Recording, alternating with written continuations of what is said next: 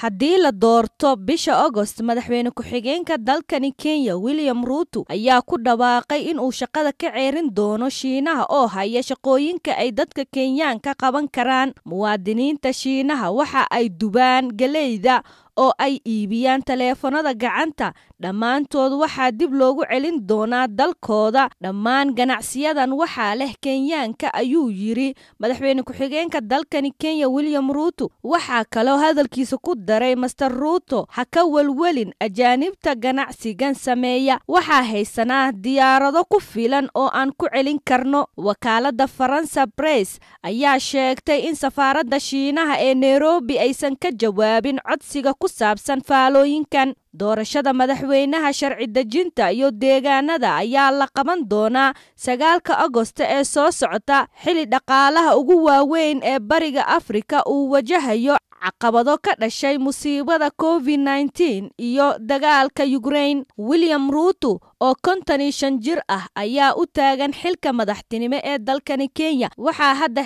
xilka haya madaxweyne uhuru kenyatta uusan u soo tartami karin xilkii saddexaad. Ruuto ayaa madaxweyne uhuru kenyatta ku dhaliilay siyaasadiisa dhaqaale. Waxa uuna wacad ku maray in uu bilaabi doono deymaha lagu leeyahay dalkani kenya oo la qiyaasayo ku dhowaad toddobaatan bilyan oo dollar haddii uu ku guulaysto doorashada in uu tartiib tartiib u bixin doono. Uuna shiinaha ka xuroobi doono shiinaha waa deyn bixiyaha labaad ee ugu weyn kenya marka laga reebo bangiga adduunka. Waxaana uu maalgeliyey mashaariic badan oo kaabayaasha dhaqaalaha ah. Dalka beljin ayaa kenya ku amaahisay lacag dhan shan bilyan oo dollar si ay u fuliso mashaariicda kaabayaasha dhaqaalaha ugu qaalisan tan iyo markii dalkaasi uu xurnimada qaatay kun sagaal boqol lixdan saddexdii. Khadka tareen ee isku xira magaalooyinka xeebeedka mombasa ilaa iyo magaalada nivasha ee gobolka rift valley isaga oo sii maraya caasimadda nairobi. Maalgelintaasi waxaa inta badan laga soo codsaday imaashaha shiinaha. Dalkani kenya ayaa deemo fara badan lagu leeyahay ha u badnaadaanee dowladda shiinaha.